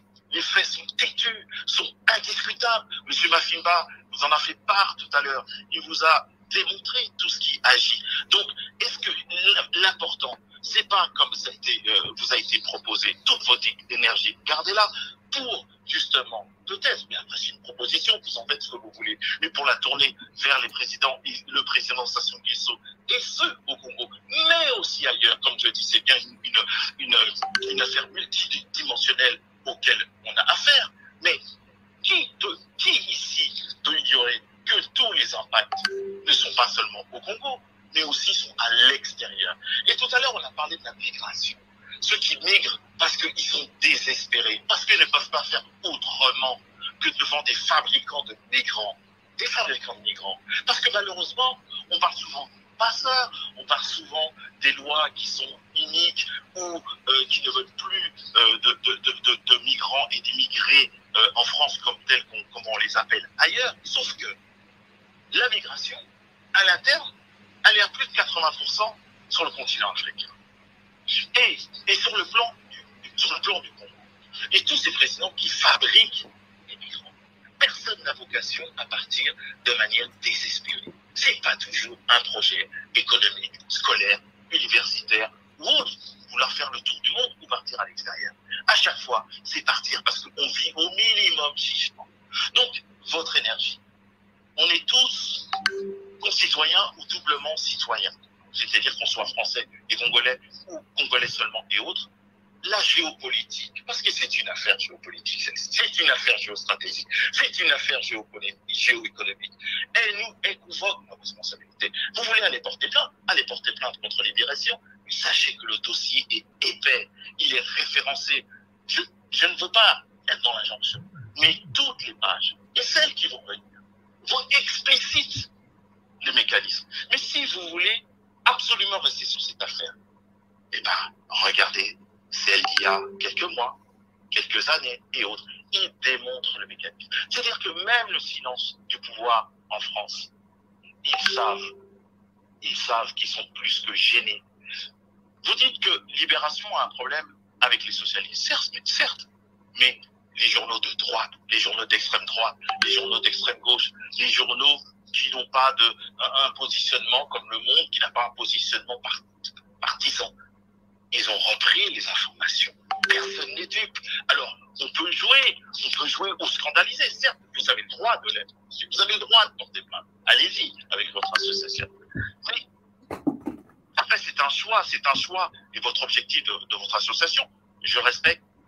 Mais quand même, quand même, si votre association, devant les réalités quotidiennes des Congolais, qu'ils soient au Congo ou sur le continent africain, ou sur, ou sur le continent européen ou ailleurs, parce qu'ils vivent dans la difficulté au regard des difficultés de départ qui sont structurelles. Ce n'est pas accidentel, ce n'est pas dysfonctionnel. On parle bien politique, monsieur, mais au sens politiste du mot, c'est-à-dire pas partisan. Tout à l'heure, vous avez parlé des oppositions. On n'a pas besoin d'être d'ici ou d'ailleurs, ou pour ou contre. Les faits sont tellement têtus. Regardez les chiffres. Regardez les chiffres dans le rouge sur le plan économique du Congo. Regardez la vie quotidienne des Congolais. Venez ici, vous êtes en France, donc demandez si s'il y avait un référendum en France, s'il devait avoir donc un changement de politique française à l'égard de l'Afrique, et notamment au Congo, eh ben, le référendum, ça serait un oui massif. beaucoup de, beaucoup de concitoyens français, quelle que soit leur quand on parle de la France-Afrique, soit ils baissent les yeux parce qu'ils en ont honte, soit ils lèvent les yeux au ciel parce qu'ils n'en peuvent plus de cette réalité. Donc un petit peu de dignité, un petit peu de, de véracité, parce qu'il n'y a que comme ça qu'on arrivera tous, qu'on soit pas du même avis, pour en même temps enclencher, amorcer le changement réciproque, le changement réciproque de politique. Moi, j'aimerais bien discuter avec votre association ou avec ceux qui ne sont pas d'accord avec ce que je suis en train de dire, même avec des gens du PCT ou M. Sasson. Les faits sont là. Donc, il est urgent de changer de parquet. Il est urgent à l'ONU ici. Vous voulez, vous voulez porter auprès de, de, monsieur, de monsieur pour monsieur, de, Libération? Euh, posez cette question à tous les parlements. Saisissez le Parlement, euh, le Parlement congolais, saisissez euh, l'Union africaine, saisissez euh, l'institution régionale euh, d'Afrique centrale, saisissez euh, et revenez à Ziana Télé pour lire les réponses qui sont navrées, qui sont désolées, qui n'ignorent rien de ce qui est bien explicité dans Libération et qui vient, mais plus que, c'est pas mille feuilles, c'est pas une feuille de plus. Donc, Monsieur Ngolo, je pense qu'il faut mobiliser d'autres énergies beaucoup plus contributives plutôt que vouloir défendre une personne. Monsieur Sassou n'a pas besoin d'être défendu. Monsieur Sassou a besoin de prendre conscience de ce qu'il réalise avec tous ceux qui sont complices de ce qu'il fait depuis des décennies. Il n'a pas besoin d'être défendu. Il n'a pas besoin d'être défendu. Il sera défendu par des, avocats qui seront payés par lui. Maintenant, s'il y a des Congolais qui veulent faire rempart, et qu'ils le fassent, mais Libération un dossier et les autres institutions Hmm. internationales ont un dossier épais et peut-être d'autres. Donc, peut-être un peu plus d'humilité et de clairvoyance sur des réalités qui sont aux yeux. Merci, merci euh, Jean-Claude Félix Tikaya. Alors, messieurs, il est de tradition au Congo, dès qu'il y a cette affaire, qu'il y ait plainte. On va repartir. On va d'abord, vous avez écouté M. Mongala qui nous a déjà dit que. On va d'abord l'écouter et ensuite nous allons repartir il y a quelque temps dans l'affaire Panama Papers. Il y avait déjà eu aussi une idée de porter plainte. Où en sommes-nous aujourd'hui? Écoutons M. Thierry Mongala. Fait, vous, vous mentionnez un agenda. En effet, le quotidien révèle que la justice française s'appuie sur des documents, dont cet agenda qui a été euh, retrouvé au, domicile du directeur financier d'Orion et où ont été notés des retraits d'argent euh, avec sur le, côté, en marge, euh, les initiales de personnes qui sont écrites donc noir sur blanc. Et là, on retrouve notamment l'initiale MINFIN, ministre des Finances, euh, RO et surtout PR qui, euh, pour les enquêteurs français, correspond au président de la République. Eh bien, ce sont des allégations qui ne sont pas étayées par des faits matériels et qui vont faire l'objet des poursuites d'abord contre Libération et peut-être, et là nous consulterons nos avocats, peut-être euh, aussi une plainte pour la violation du secret de l'instruction. Voilà, là nous sommes en 2022. Dans l'affaire Orion, M. Mongala nous dit qu'il va porter plainte contre Libération pour diffamation et peut-être, donc il n'est pas trop sûr, pour euh, divulgation du secret d'instruction. On va réécouter M. Mongala dans l'affaire Panama Papers, il y a quelques années, et ensuite nous reviendrons, messieurs, pour vous donner un dernier tour de parole. Sûrement, nous allons parler essentiellement ce soir de ce magazine Cash Investigation, magazine de nos collègues, nos confrères de la chaîne publique française France 2. Alors, Monsieur le ministre, après une accusation dans le dossier Pandora Paper, un dossier qui a fait polémique, tout le monde en a parlé, les médias l'ont repris en boucle, le nom de Denis Sassou Nguesso est, je vais le dire euh, crûment, ce nom est traîné dans la boue par les réalisateurs de ce magazine. Ce soir, que devons-nous retenir, Monsieur le ministre? Est-ce, selon vous, porte-parole du gouvernement de la République du Congo, une cabale, mais bien organisée, ou simplement des dossiers cachés qui ont filtré des dossiers qui auraient échappé au président congolais? Alors merci pour votre invitation et merci de me donner l'occasion euh, de rétablir les faits euh, tels qu'ils sont et non pas euh, de laisser l'opinion se faire duper, se faire tromper euh, par euh, tout ce qui est diffusé euh, par une certaine presse et éventuellement par les réseaux sociaux. Il s'agit d'un mensonge. Il s'agit d'un mensonge éhonté, il s'agit euh, d'une cabale, vous l'avez dit tout à l'heure, mais je reviendrai sur les raisons de la cabale tout à l'heure. Et toujours sur cette affaire de Pandora Papers, il y a un deuxième élément qui est troublant. On parle de mines de diamants. Je crois que nous sommes congolais, euh, nous vivons au Congo, nous connaissons l'essentiel des richesses naturelles euh, qui existent dans notre pays. Euh, j'ai, par curiosité, parce que cette affaire de mines de diamants m'a intrigué, je me suis rapproché des services compétents au niveau du gouvernement, si le auprès, Congo auprès du ministre d'État Pierre Auba notamment. Est-ce que le Congo produit des diamants? Alors sa réponse a été très claire. Notre production de diamants est marginale quand elle existe, c'est-à-dire qu'elle est minime et c'est-à-dire enfin qu'elle ne peut en aucun cas générer d'énormes revenus au point d'atteindre 150 millions d'euros, donc plusieurs dizaines de milliards de francs CFA. Donc là, nous avons. Pour vous, dossier factice. Nous avons là, sauf si euh, les contradicteurs en apportaient la preuve, nous avons là la manifestation, l'exemple du mensonge, de la manipulation, raison pour laquelle, vous l'avez évoqué, le président de la République a indiqué qu'il envisageait très sérieusement euh, de déposer plainte pour que la matérialité de ces faits, c'est-à-dire de sa non-implication dans ce type de dossier, euh, soit démontrée. Et donc, Éric Nolot, est-ce que votre plainte ne serait pas une mongalade? C'est-à-dire, vous annoncez une plainte d'une manière péremptoire, et ensuite, on va passer des années, il n'y aura absolument rien du tout. Parce que quand on entend M. Mongala sur l'affaire de Pandora Papers, il est quand même un homme d'État, membre du gouvernement, gouvernement sérieux. Ben, juste aujourd'hui, on attend cette plainte. Hein. Aujourd'hui, il veut encore nous parler d'une autre plainte contre Libération, ce qui ne sera jamais fait. Est-ce que la plainte qui est la vôtre ce soir ne serait pas une mongalade, monsieur, monsieur Eric Ngolo? Euh, Sir tout à l'heure, vous avez euh, dit que euh, bon nombre d'accusations qui ont été portées vers le président Macron, il n'a jamais porté euh, plainte. C'est dans cet esprit parce que M. Mungala, euh, sans doute, a anticipé les choses. Mais c'est dans cet esprit, je crois que le président de la République, euh, étant un grand démocrate, une référence pour l'Afrique, il pense tout le temps qu'il faut euh, ne pas répondre aux, diffamations, aux accusations. M. Mungala parle au nom de qui Ce qui fait que, parle au nom de qui? Je pense sans doute qu'il a anticipé, mais que le président de la République est revenu sur sa décision. Le ah. président de la République est revenu sur sa décision. Et, M. Mungala a emballé son chapeau. Sans doute. S'il vous plaît, Eric Ngolo, s'il vous plaît. Eric Ngolo, s'il vous plaît. M. Mungala, c'est un grand garçon, je pense qu'il est majeur et vacciné. Il vient à la télé pour annoncer, sans pour autant que le président lui dise, va à la télé. Il est venu par, par tout, tout, seul. Non. non. M. Mungala ne vient à la télé que par injonction de la présidence de la République. Donc, il est venu là. Ce qu'il déclare, c'est des choses qui ont déjà été travaillées avec Mme Lumbumba. Donc, je comprends que M. Mungala soit peut-être à un moment donné perdu dans ce qu'il dit, mais quand il vient pour dire, il dit que le président de la République va porter plainte. C'est ce que je suis en train de vous dire, Thierry Makoso. C'est ce que je suis en train de vous dire.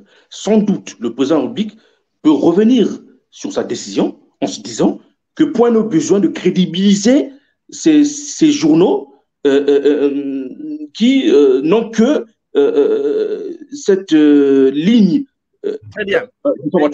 Ça, c'est le Papers. Et, pour Libération, et pour Libération, pour Libération, M. Mungala a annoncé encore une plainte pour diffamation. Est-ce que là, le président de la République va surveiller pour dire non, non, non, non, M. Mungala n'en est plus parce que j'ai réfléchi, donc c'est plus la peine Si, euh, je, ne pourrais pas vous dire avec exactitude euh, ce qui se passera dans les, dans les prochains jours parce que je ne suis pas dans le secret de Dieu. Mais ce que je peux vous dire par contre, c'est que euh, si le président de la République euh, ne décide pas, ne prend pas l'engagement, euh, cette fois-ci, de porter plainte, parce que nous connaissons très bien le, caractère et les valeurs humanistes que porte le président de la République, et de par son caractère qui, ne, qui ne répond pas tout le temps aux accusations. Et donc, je pense que si jamais il ne porte pas plainte, si jamais il, arrive qu'il revient à cette décision, mais en tant que euh, Congolais, en tant que républicain, euh, cette fois-ci pour protéger, pour, euh, pour faire entendre à la France que nous ne sommes pas leurs marionnettes, nous, donc, en tant que Congolais, l'association que je préside, nous allons donc aller jusqu'au bout dans cette affaire. Nous porterons plainte. Très bien. Donc, pour vous, ce ne serait pas une mongalade. Alors, Dima Fima, est-ce qu'aujourd'hui, le gouvernement congolais a toujours brandi la plainte comme étant, en fait, euh, euh, je dirais, l'argument principal pour arrêter, euh, je dirais, la propension de ces affaires?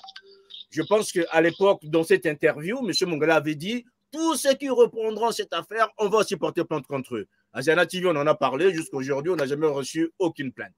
Est-ce que vous pensez que cette fois-ci, l'État devrait porter plainte dans cette affaire afin qu'on en sache un peu plus, comme le dit Eric Ngolo, pour que Libération puisse brandir ses preuves en disant ben, voilà ce que nous avons et que cette plainte permettrait de le savoir Monsieur oui, M. a dit qu'il n'y a rien, il n'y a pas de preuve. Monsieur vous savez, euh, j'ai été euh, porte-parole de M. Euh, Yombio Pango, père le général Yombio Pango, père Donc, je connais un peu cet exercice-là que que malheureusement, tiens, monsieur, et, monsieur, euh, monsieur Thierry Mungala, c'est un homme intelligent, c'est un juriste.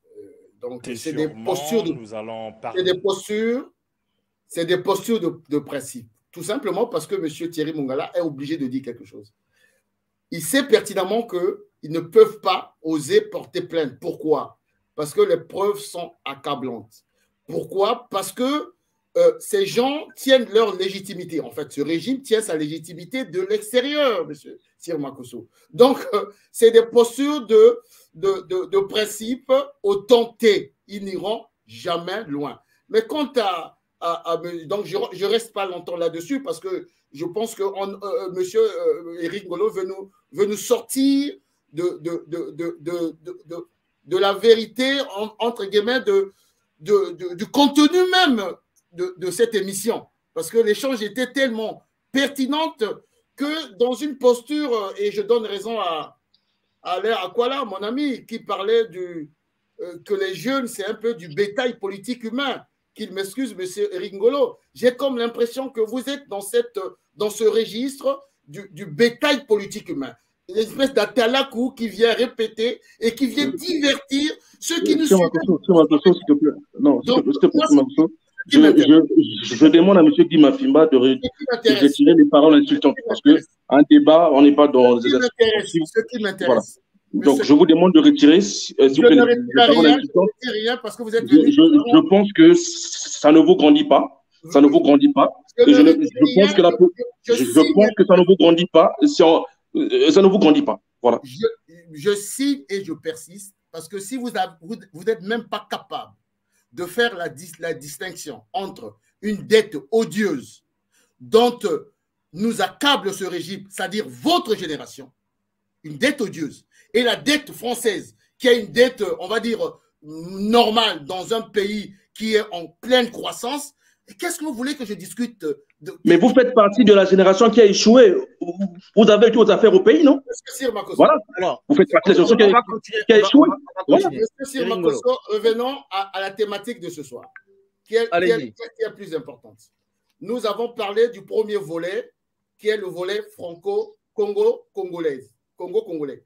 Mais Monsieur Sirmakoso, il y a un deuxième volet qui est, dans les deux dernières euh, éditions, qui, est un volet encore plus important, d'autant plus que mon monsieur Jean-Claude Félix Tikaya commençait déjà à aborder ce sujet. Monsieur Sirmakoso, ça c'est le volet véritablement France-Afrique. Et là, je voulais dire deux ou trois choses, monsieur Sirmakoso, si vous permettez. Parce que cette, ces investigations, ces révélations de Libé me remet au cœur de, de, des relations France-Afrique, notamment franco-congolaise. Monsieur Sirmakoso, en ma qualité de spécialiste des conscientés historiques, souvenez-vous de la mort de l'assassinat de Marien Gwabi. C'est la France-Afrique qui est responsable de l'assassinat de Marien Gwabi, dont un des acteurs, Denis Sassou Nguesso. Est-ce que les Congolais se souviennent de 1987, lorsque euh, M. Jacques Chirac a à, affréter un cargo pour mettre à disposition du régime de M. Denis Sassou Nguesso afin de mater les populations à Ouando et a eu crime contre l'humanité? Est-ce que les Congolais se souviennent de 1993 lorsque nous avons eu la première guerre civile, c'est-à-dire lorsque il y a eu cette affaire d'Oxy où euh, El Fakiten a créé une guerre civile et toujours M. Sassou Nguesso était au cœur parce qu'on voulait remettre M. Sassou Nguesso en selle. Est-ce que les gens se souviennent de 97 avec le coup d'État de la France-Afrique qui a remis en selle M. Denis Sassou Nguesso?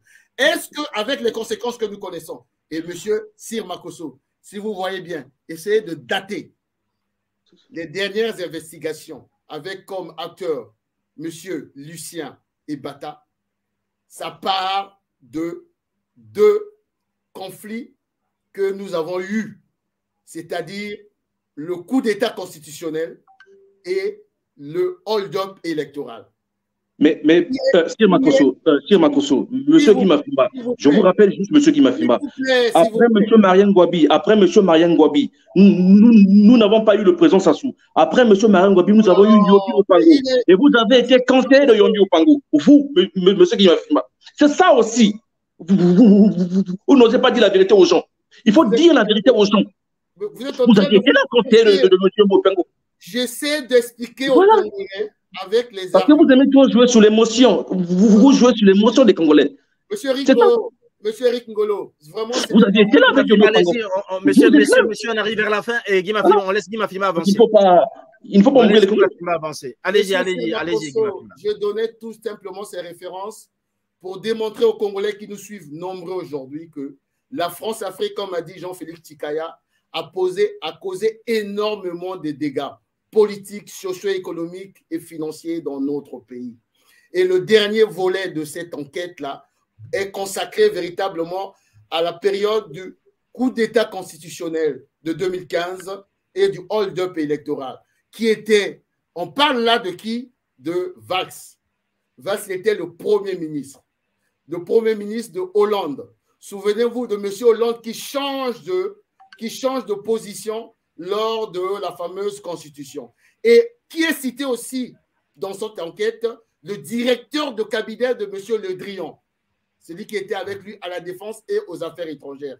Nous sommes là au cœur de la France-Afrique qui a fait tant de mal à notre pays. Raison pour laquelle, lorsque j'ai parlé dans le volet, le premier volet, de, ce que M. Sassou Nguesso devait être poursuivi pour autre trahison, M. Cyril je pense que dans ce deuxième volet, nous sommes en train de nous organiser, pas comme M. Eric Ngolo, pour nous faire une espèce de tartufferie. Nous sommes en train de nous organiser pour impliquer le Parlement français, les parlementaires français, pour impliquer les médias français, et je vous en félicite ce soir aujourd'hui, pour que cette affaire vienne au niveau du Parlement français, pour, pour que, bien entendu, les parlementaires français osent, comme ils avaient fait en 97, mettre en place une mission ou une commission d'enquête sur ce qui s'est passé en 2015 et 2016 au Congo-Brazzaville parce que les officiels français sont impliqués à travers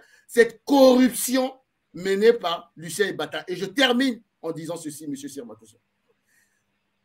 Les gens ont la mémoire courte. M. Jean-Yves Olivier, qui est un des domiciles de M. Denis Sassou disait au cours d'une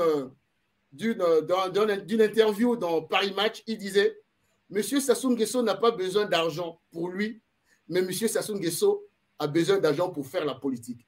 Et on vient de nous démontrer, à travers cette enquête, que Monsieur Sassou Nguesso, qui est toujours en quête de légitimité, parce que c'est pareil, c'est la France, a passé son temps à à corrompre la classe politique congolaise, euh, française, à corrompre les médias français. Et aujourd'hui, il, est mis à nu parce que les ramifications sont en train d'être coupées. Et en cela, nous pensons que nous pouvons, bien entendu, poursuivre aussi les, les, officiels français comme M. Valls, comme hier, jadis, M. Jacques Chirac. Voilà un peu le deuxième volet. Nous n'avons pas eu le temps véritablement de décortiquer ce deuxième volet qui est le plus important parce que la responsabilité de la France dans ce qui se passe dans notre pays, tant sur le plan politique, tant sur le, sur le plan socio-économique et financier, est engagée à travers cette, à travers cette investigation euh, et ces trois éditions, euh, ces trois publications de, Libération.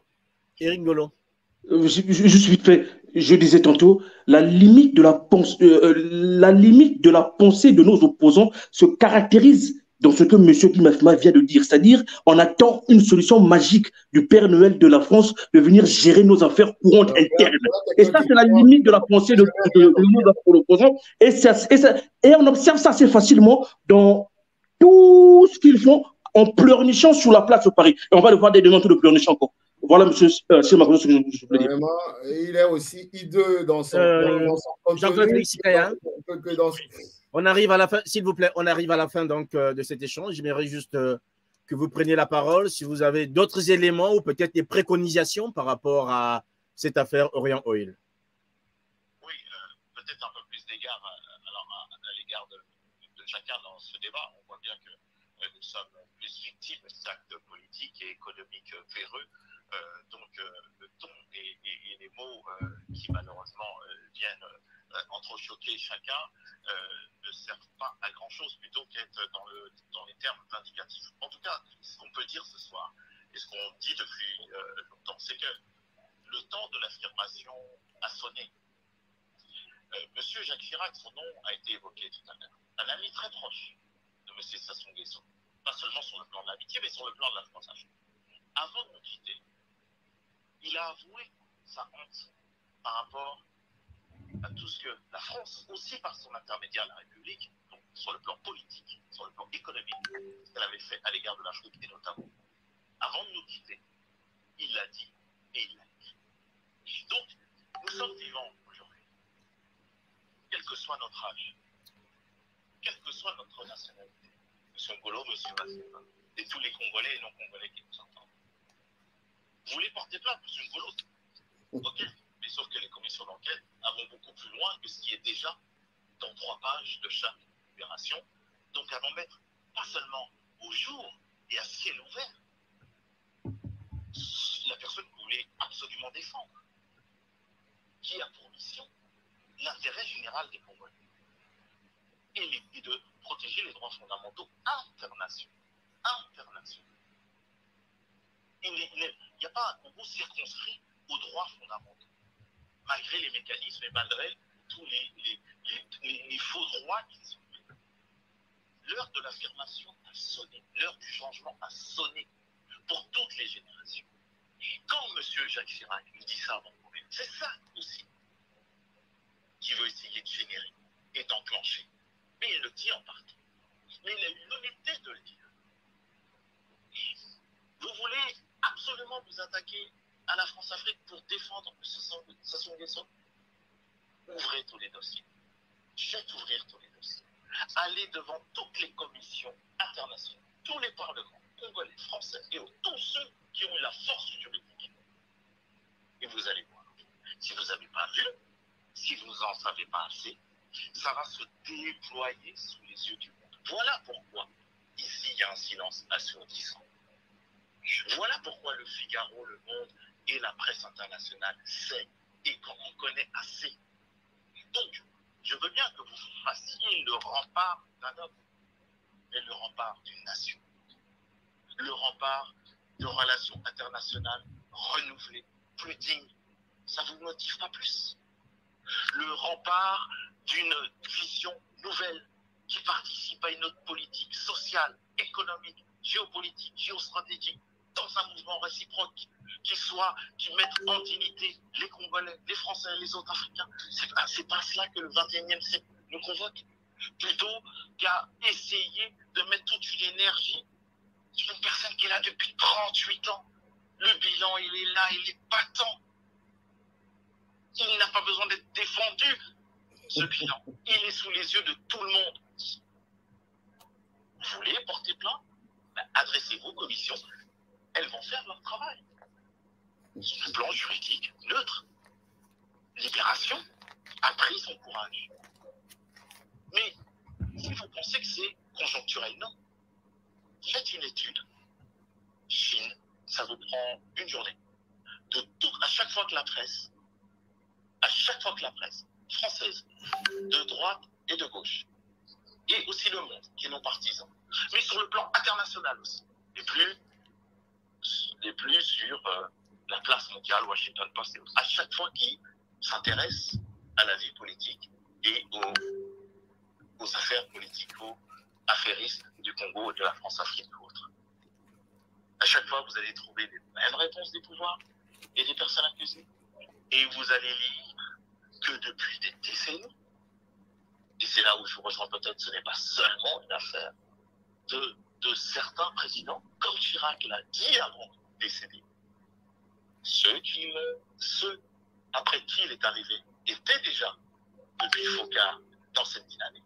Ceux qui sont venus après lui, il n'a pas su, qui ont annoncé la fin de la France-Afrique. Elle n'est pas là. Et c'est une co-animation qui met en branle des Africains et des non-Africains. Et qui ne s'arrête pas à la géopolitique franco-congolaise ou franco-française, ou franco-française, ou franco-africaine. Il y a bien d'autres partenaires qui, devant un pays appauvri, donc vulnérable, un pays appauvri pas seulement parce que c'est le Congo, est un pays vulnérable sur le plan géostratégique, sur le plan géoéconomique. C'est-à-dire que toutes ces, toutes ces richesses, y compris les matières premières intellectuelles, et les matières premières qui avancent sous sol, et tout ce que peut faire chaque être humain, et dans tout au Congo et dans les relations internationales, sont convoqués, sont convoqués à un changement. C'est à cela peut-être, monsieur. Je, c'est pas une injonction. Faites comme vous voulez. Faites ce que vous avez envie de faire. Mais pour servir le Congo, et si vous voulez servir de nouvelles relations avec la France et de nouvelles relations à l'intra sur le plan continental, parce qu'il n'y a pas que le Congo qui est opposé à cette problématique. Donc il est bien temps de sonner le temps de l'affirmation, de ne pas se perdre, comme ça a été dit tout à l'heure, dans des, dans des diversions ou, ou dans des embrigadements de certains pour dire non, pour faire rempart autrement. Faut que ça soit une synergie plus dynamique, digne du 21e siècle, digne des jeunes qui ont 10 ans, qui ont 5 ans, qui ont 15 ans, qui sont inquiets. Les, les, toutes les, les, artères, les veines, les pouvoirs du Congo, même s'ils le disent pas et ceux qui le disent ou ceux qui le pensent, ils veulent le renouveau du Congo. Ils veulent être auteurs, acteurs, contributeurs, actrices, autrices, contributrices d'un nouveau Congo. Ils demandent silencieusement ou même par la voix.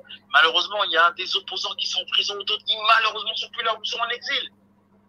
D'un changement, pas seulement de la politique congolaise, mais de la politique internationale, dans les relations internationales entre le Congo, la France et autres. Donc, oui, vous avez raison. Mais, tous les deux d'ailleurs. C'est pas seulement à l'égard de Sassou Nguesso ou à l'égard de M. Macron et autres, c'est bien aussi une problématique philosophique. Comment on se voit, comment on se perçoit, comment on se pense, comment on pense les relations internationales, comment on pense les, les relations à l'intra sur le plan congolais, comment on pense les relations à l'intra sur le plan de l'Afrique. On est obligé de passer au tamis et à l'examen de tout ce qu'on a fait de bien ou pas bien, même si on n'est pas auteur.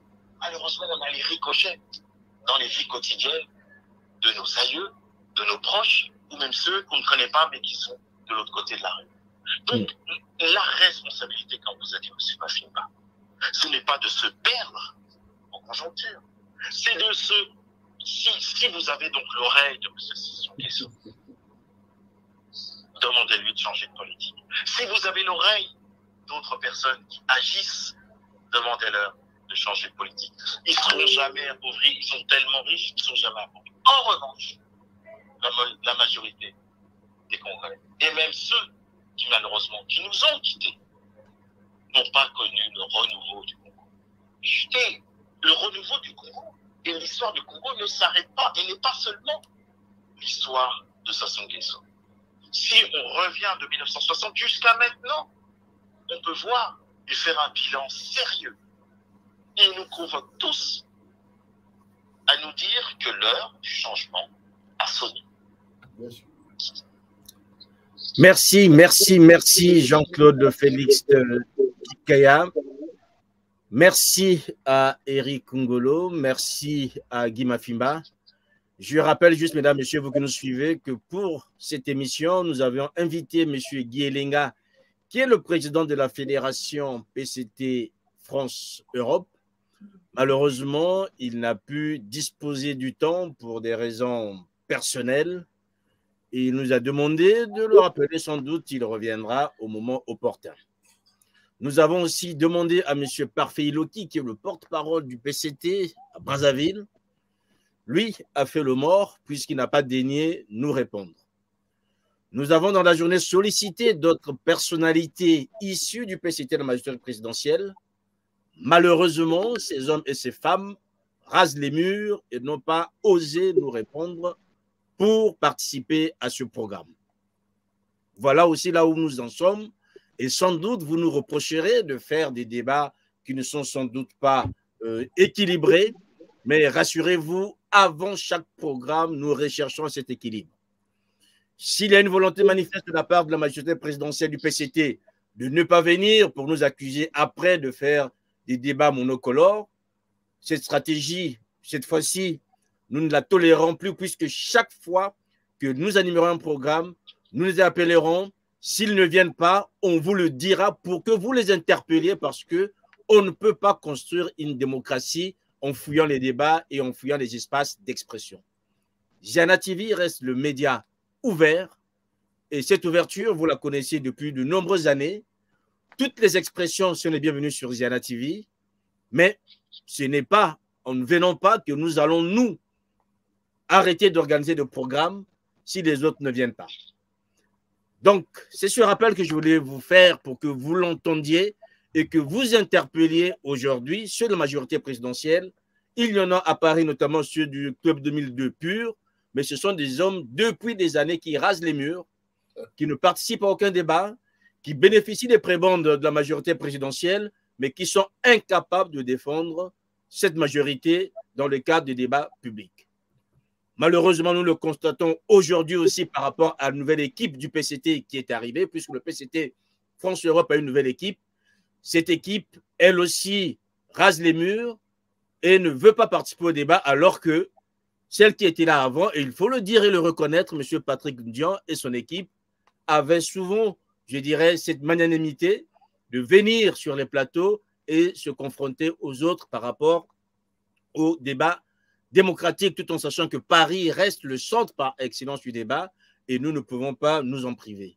Merci encore, mesdames, messieurs, à vous tous qui avez pris le temps d'être avec nous ce soir. Je rappelle donc que nous étions là avec euh, monsieur Jean-Claude Félix Tikaya, qui est chercheur euh, associé à l'IPSE, l'Institut pour la prospective et la sécurité en Europe. Lui s'occupe du groupe Afrique. Nous étions là aussi avec euh, Monsieur Guy Mafimba, qui est donc euh, le spécialiste de contentieux historiques. Et nous avions donc comme autre invité Monsieur Eric Ngolo, qui est trader en produits alimentaires tel qu'il se présente, mais qui ce soir, avez bien compris, a donné l'autre sang et qui nous annonce ce soir donc euh, une plainte.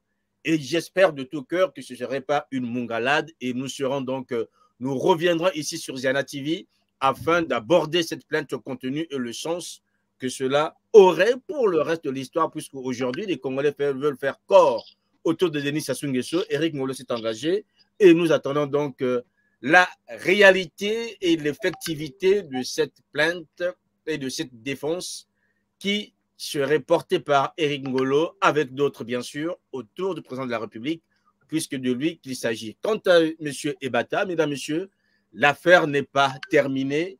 C'est un feuilleton, ne vous en faites pas, d'autres arriveront et d'autres médias aussi vont continuer à publier d'ici là. En attendant, je vous souhaite une très belle soirée là où vous êtes. On se retrouve donc euh, sur les programmes du Ziana TV demain à partir de 7h avec Brice André Déco. Et bien sûr, euh, la matinale et d'autres programmes. Portez-vous bien. Nos programmes continuent et je vous souhaite une très belle soirée. Je vous dis au revoir. Thank you